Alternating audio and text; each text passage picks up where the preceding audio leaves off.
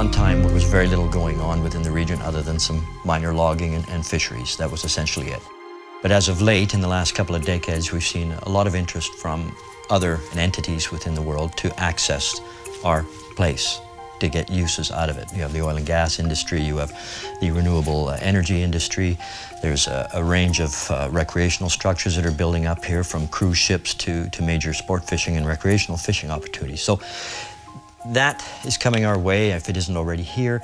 And the, the pressures are, are becoming quite substantial in terms of the marine environment. There are a lot of pressures out there. There's a, a lot of need for access. How do you best develop that? Uh, coming from a governance role, uh, we have a tendency to plan things very rigorously. Uh, we're both uh, obligated and, and legislated, to be perfectly honest, to provide responsible planning on behalf of our constituents.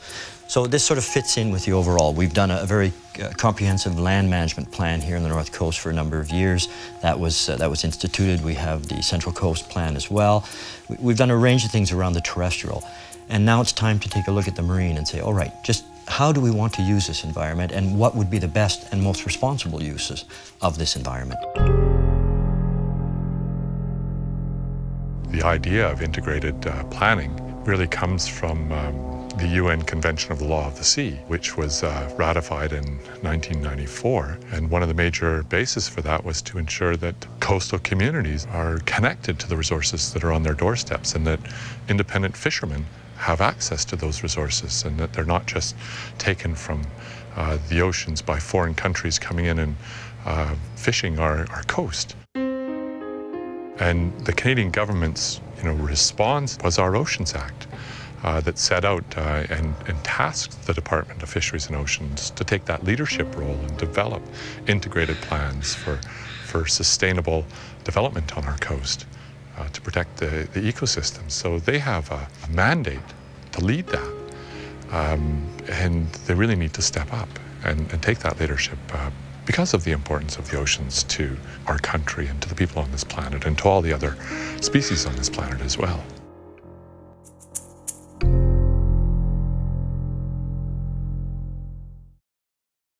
My name is Art Sterritt, and I'm the Executive Director for the Coastal First Nations. Our territories extend from our, uh, the mainland around the top end of Vancouver Island all the way to the BC-Alaska border.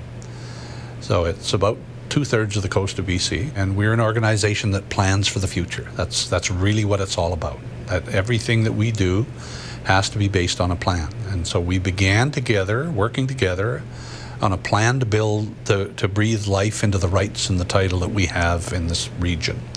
Uh, we do that by land use planning. We do that by marine use planning. And so we began with a massive uh, uh, land use plan that became known as the Great Bear Rainforest. In the mid 1990s, an epic battle over the clear cutting of ancient rainforests. A battle which came to be known as the War in the Woods raged along the BC coast.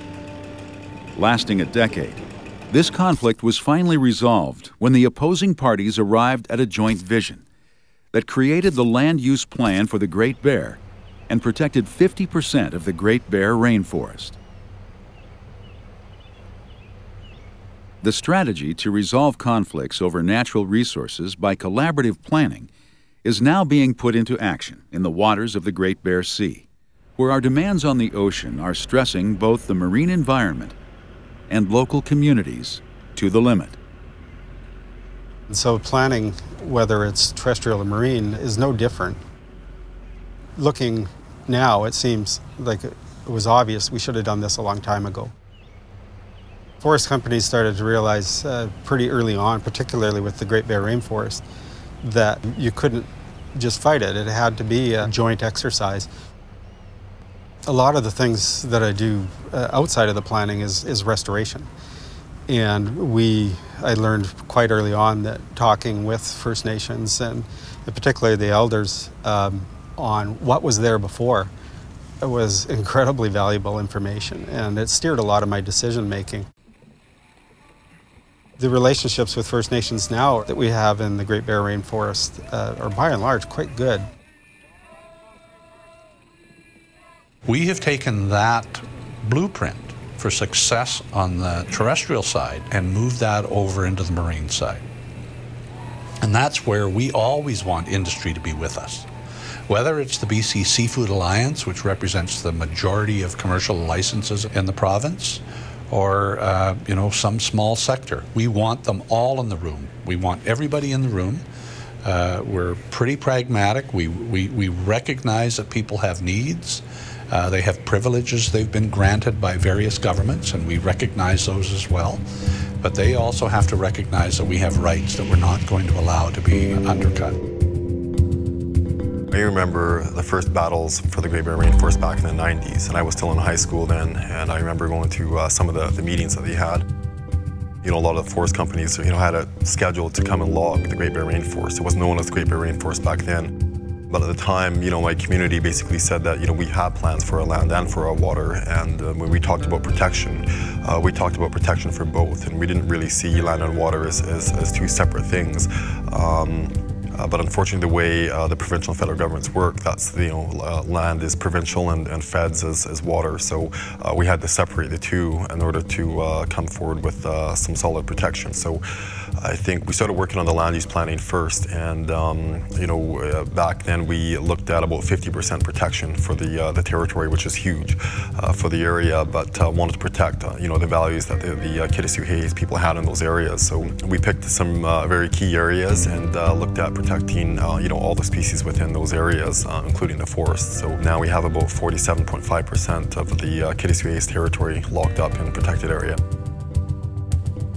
Now we're able to sit down uh, with forest companies and determine where forestry is going to happen and making sure that those forest companies aren't impacting food areas, cultural areas, ecological areas. Um, so that's been uh, very important. And uh, I think now we want to kind of translate that sort of management onto the marine side by developing these marine spatial zones like we have on the land side, that will help us protect multiple species and make sure that you know those species continue to be there, and not just for First Nations, but for everyone.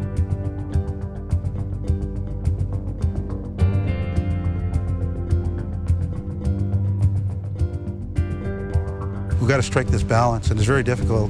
You know, we have to be profit-oriented, but at the same time, we have to consider our environment. And the value of that environment is part of our balance sheet. We look at that environment as a way to sustain us now and into the future.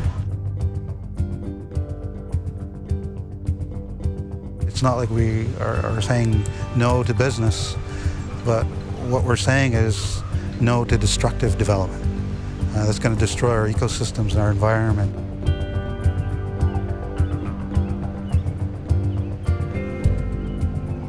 we're doing business in a different way so that when you want to come into our territory, you know that there's going to be a viable opportunity here long term. And that if, if industry, uh, whether they're independent or larger corporations, uh, work with us, we know that we can guarantee a long-term access to whatever resource is in our territory. Uh, but we have to protect what's left. It's very important.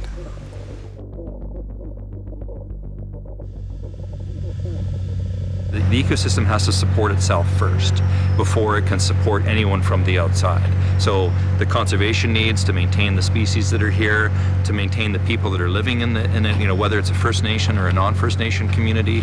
Um, and then if, if, if, if there's surplus that can support people from the outside, then by all means, I mean, then, then there's those opportunities.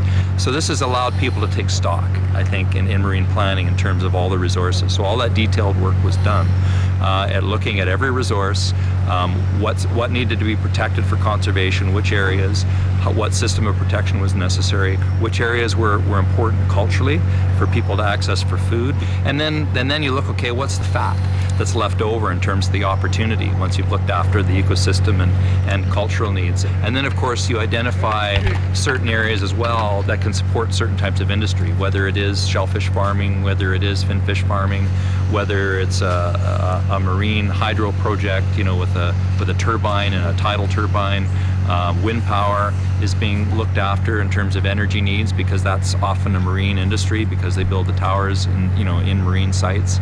Um, so all of these things are, are being kind of looked at into the, uh, into the future.